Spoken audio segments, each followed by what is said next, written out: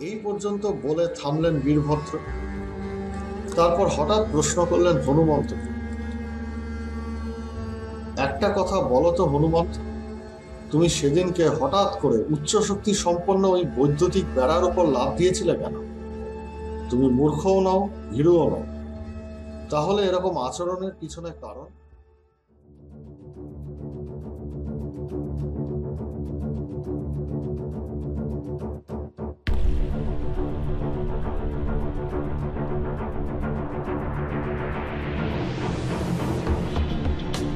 মুখ নিচু করে দাঁড়িয়ে রইলেন হনুমন্ত কে? উত্তর জানো না? নাকি দেবে না? এবারে মুখ খুললেন সুগ্রীব একটু ইতস্তত করে কেশে বললেন, সেদিন আপনারা যখন মাটিতে দাঁড়িয়ে লড়াই করছিলেন আগুনে পোকার পাখিগুলির সঙ্গে, আমরা তখন গাছের আড়াল দিয়ে গাছ বেয়ে বেয়ে পালাচ্ছিলাম বেড়ার দিকে। আত্মগোপন করে লাভ হচ্ছিল কারণ আগুনে পোকার পাখিগুলো আমাদের ঠিক খুঁজে বের করে আগুন ঝরাচ্ছিল আমাদের। তারই মধ্যে একবার পথ হারিয়ে ফেলেছিলাম। পথ খুঁজে মূল স্রোতে ফেরত আসে। এরই মাঝে হনুমন্ত কি করে যেন বুঝতে পেরেছিল, সর্বাঙ্গ কাদামাখা অবস্থায় থাকলে কিছু সময়ের জন্য এগুলোকে ফাঁকি দেওয়া সম্ভব। বীরভদ্র অবাক হয়ে তাকালেন হনুমন্তের দিকে। তাই নাকি হনুমন্ত? জিজ্ঞাসা করলেন তিনি। গাছের ডালে ঝুলতে ঝুলতে এগোনোর সময় একটা আগুনে পাখি আমাদের পিছু ধাওয়া করে। ওটির ছোড়া আগুন, আমি যে ডালটা ধরেছিলাম, তাতে এসে আঘাত করে। ফলে ডাল ভেঙে আমি নিচে পড়ে যাই। আমাকে রক্ষা করবার জন্য রাজামশাইও নিচে নাম। আমি পড়েছিলাম একসার পাকের ওপর ফলে চোট সেরকম লাগেনি বটে, কিন্তু গোটা পা পাকে এবং কাদায় ভরে গেছে। এদিকে তাড়াহুড়োয় রাজামশাইও শেষ মুহূর্তে পাখের উপর এসে পড়ায় তার গায়েও কাদা লেগে যায়। আমরা দুজনেই ভেবেছিলাম এই শেষ। এবারে আগুনে পাখিটা আমাদের মেরে ফেলবে। ওটা তখনও আমাদের মাথার উপরেই উঠছে কিন্তু অবাক কাণ্ড ওটা যেন আমাদের দেখেও দেখতে পেলাম উড়তে উড়তে আমাদের উপর দিয়ে চলে গেল। হুম, বোঝাচ্ছি তারপর সুগ্রীব? পালিয়ে আস্তে আস্তে দুবার লক্ষ্যভ্রষ্ট আগুনের গোলা ফাটে ঠিক আমাদের পেছনে। এতে আমি আতঙ্কিত হয়ে উদ্ভ্রান্তের মতো দিক বিদিক গান শূন্য হয়ে দৌড় মারি সামনের দিকে। বৈদ্যুতিক বেড়ার কথা আমার মনেও ছিল না। মৃত্যু নিশ্চিত ছিল আমার। কিন্তু আবার হনুমান। এবার এসে বাঁচিয়ে দিল আমার উল্কার বেগে আমাকে বেড়ার দিকে দৌড়তে দেখে আর দ্বিতীয়বার কিছু না ভেবে ধাক্কা দিয়ে আমাকে সরিয়ে দিয়ে নিজে ঝাঁপ মারলো বেড়ার ওপর। বুঝিয়ে দিল যে একটা ছোট্ট লাফি যথেষ্ট ছিল আমার মৃত্যুর জন্য। এই ছিল গল্প। এবারে আপনি বিচার করুন, প্রভু। হুম, এরকমই একটা কিছু আন্দাজ করেছিলাম। হনুমন্ত, তোমার কিন্তু একটা ধন্যবাদ প্রাপ্য আমাদের জীবন বাঁচানোর জন্য। এরকম বলবেন না, ভগবান। আমার জীবন আপনাদের দয়ায় পাওয়া। এর ওপর অধিকার এখন আপনাদের বেশি। যতদিন বেঁচে থাকব, আপনাদের কথা মেনে চলব। ভগবান, দেবত্ব কি উন্নত সভ্যতার সঙ্গে সমানুপাতি নাকি প্রযুক্তির বিকাশের সঙ্গে? দেবতাদেরও তো তারা একই নামে ডাকে। এটিই তো তাদের কাছে দেবতাদের জন্য নির্দিষ্ট করা সম্বোধন রীতি। খট করে কানে লাগল কথা। ভগবান বলে আমায় সম্বোধন করবার কোনো কারণ নেই। এই নামে আমায় ডেকো না। তুমি তো নিশ্চয়ই আমার নাম ধরে আমায় ডাকতে চাও, তাই না? তুমি বরং আমায় মিত্র বলেই সম্বোধন করো। কেমন? হনুমন্তকে বললেন বীরভদ্র। কিন্তু আপনাকে তাই বা ডাকি কি করে? আপনি তো ভগবানের পুত্র। আমি বরং আপনাকে প্রভু বলে ডাক, বললেন হনুমন্ত। বেশ এখন সুগ্রীব তুমি ভিতরে যাবে। যোজনা এরকম, তুমি সোজা দলপতির গুহায় ঢুকে কান্নককে যুদ্ধে আহ্বান করো। ওকে টেনে আনবে সামনের ওই ফাঁকা জায়গাটিতে আটকে উঠো না। আমার দৃঢ় বিশ্বাস, তুমি দৌড় শুরু করলে, ও নিজেই তোমার পিছন পিছন দৌড়ে আসবে। ওই ফাঁকা জায়গায় এসে তুমি ঘুরে দাঁড়িয়ে পাল্টা লড়াই শুরু যখন তোমরা লড়বে, সুযোগ বুঝে আমি তীর চালিয়ে ওকে মেরে দেবো। বোঝা গেল? আপনার আদেশ শিরোধার যোগ্য কিন্তু ওর পেছন পেছন অনেকেই আসবে এই যুদ্ধের পরিণাম দেখবার জন্য। তারা কেউই অবশ্যই যুদ্ধে অংশগ্রহণ করবে না, কিন্তু তাদের সামনে এই ছলনা করলে তাদের মধ্যে কিন্তু অসন্তোষ তৈরি হতে পারে। হুম, ঠিক আছে, সেটা আমি দেখে নিচ্ছি। এবারে তুমি যাও। যেমন বলেছি, সেই অনুযায়ী ওকে নিয়ে এসো এখানে। আমরা সামনের এই প্রস্তর খণ্ডটিতে আত্মগোপন করে থাকছি। সুগ্রীব চলে গেল লোকালয়ের ভেতর, পিছন দিকে তাকাতে তাকাতে। কান্নব তার দাদা, তার চোখের দিকে চোখ রাখলেই তার মনে হয় যেন ভিতরের শক্তি অর্ধেক হয়ে গেল। এত ব্যক্তিত্ব সেই চোখে। আর এখন কি না তার বিরুদ্ধেই একেবারে লড়াইয়ের প্রাঙ্গণে?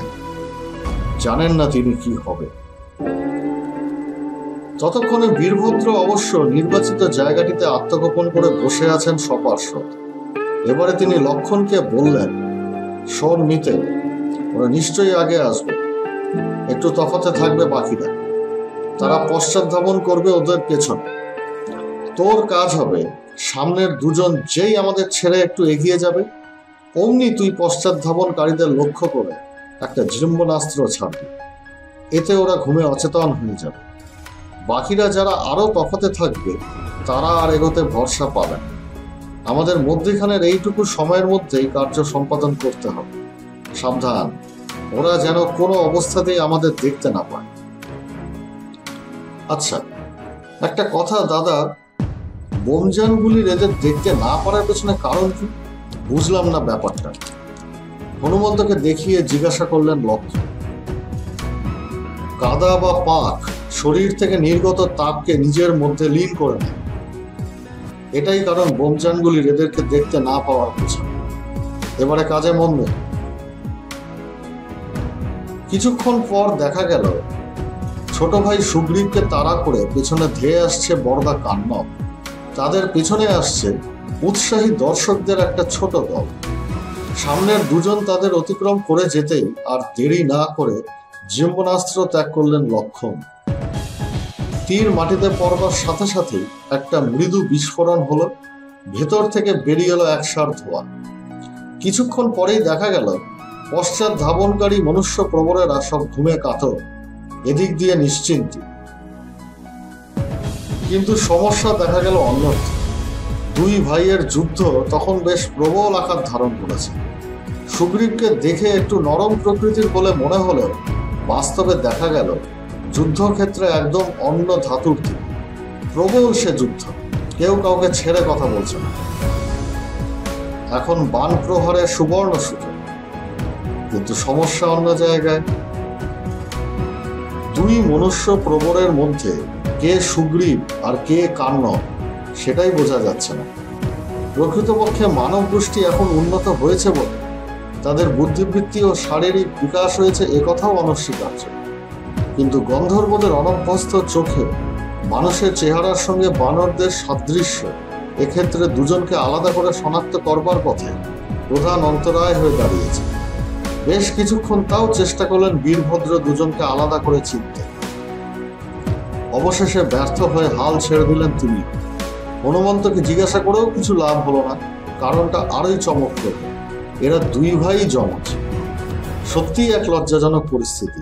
সেই একই নাক, চোখ, ঢালু কপাল, উঁচু থুতনি, শারীরিক গঠন, যার অর্ধেক লোমে ঢাকা, আর পেছনে লেজের সামান্য একটু উপস্থিতি। কিছুক্ষণ চেষ্টা করে সরঙ্গ নামিয়ে রাখলেন বীরভদ্র। কি করবি দাদা এখন? এ তো চেনাই যাচ্ছে না। বলে উঠলেন লক্ষণ। হাত দেখিয়ে তাকে থামালেন বীরভদ্র। তিনি চুপচাপ নজর রাখতে চান পরিস্থিতির দিকে। দেখতে চান বিষয়টা কোন দিকে গড়ায়। ব্যাপারটা আরোই জটিল হয়ে গিয়েছে দুই ভাই জমজ হওয়ায়। একই রকম দেখতে লাগছে দুজনকে। সব থেকে বড় বিষয় হনুমন্ত বিশেষ সাহায্য করতে পারছেন না। এর একটা বড় কারণ, তিনি দ্বিধা জড়িত আর বিষয়টা জীবন মৃত্যুর খেলা। এখন একমাত্র ভাগ্যই সম্ভব। যুদ্ধটা অবশ্য বেশিক্ষণ স্থায়ী হলো না। একটু পরেই দেখা গেল একজন মানুষকে কুপকাত করে তার উপরে চেপে বসেছে আরেকজন মানুষ। প্রাণপণে টিপে ধরতে চাইছেন নিচে পড়ে থাকা মানুষটার গলা। কোনো মতে তার হাতের মুঠিটি আলগা করে নিচে ভুলুন্টিত মানুষটি আত্মচিৎকার করে উঠলেন। প্রভু! লাভ দিয়ে সামনের দিকে এগিয়ে গেলেন বীরভদ্র। এরকম সুযোগের অপেক্ষাতেই ছিলেন তিনি। পরিষ্কার বুঝতে পারলেন কান্নব গঞ্জন। ধনুকে একটি তরঙ্গ যোজনা করে কান্নপের একপাশে একটি তীর ছুড়লেন তিনি। এতে কাজ হল। পিছন দিকে ঘুরেই কান্নব দেখতে পেলেন বীরভদ্রকে যুদ্ধের প্রবল উত্তেজনায় সুগ্রীবকে ছেড়ে এবারে তিনি সবেগে ধেয়ে এলেন তার নতুন প্রতিপক্ষ বীরভদ্রের দিকে। এই মনুষ্যপ্রবর অত্যন্ত দ্রুতগতি এবং অবিশ্বাস্য ক্ষিপ্র। লক্ষণ পাশ থেকে সাবধান করলেন দাদাকে। পলকে সিদ্ধান্ত নিলেন বীরভদ্র একটা ছোট লাফ মেরে একদিকে সরে গেলেন তিনি তীরের গতিপথ থেকে সুগ্রীবকে বাঁচানোর জন্য। ঠিকই ধরেছিলেন তিনি ব্যাপারটা যে মানুষ দানবদের তুলনায় বহু গুণে খর্বাকৃতি হয়েও তাকে পরাস্ত করতে পারে, তার ক্ষিপ্রতা ও শক্তি অবশ্যই অসামান্য হবে। তীর যদি লক্ষ্যভ্রষ্ট হয়, তবে তা বিদ্ধ করতে পারে সুগ্রীবকে।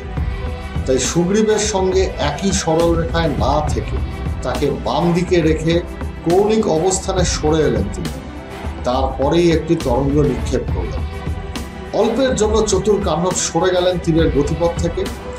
পরক্ষণেই তিনি একটা বিরাট লাফ মারলেন বীরভদ্রের উদ্দেশ্যে। আর ঠিক এইখানে একটা ভুল করে বসলেন অভিজ্ঞ কানহব দানবটির সঙ্গে যে যুদ্ধরীতি প্রয়োগ করে তিনি যুদ্ধে জিতেছিলেন, এক্ষেত্রেও সেই একই যুদ্ধরীতিতে তিনি জিতবেন বলে আশা করেছিলেন।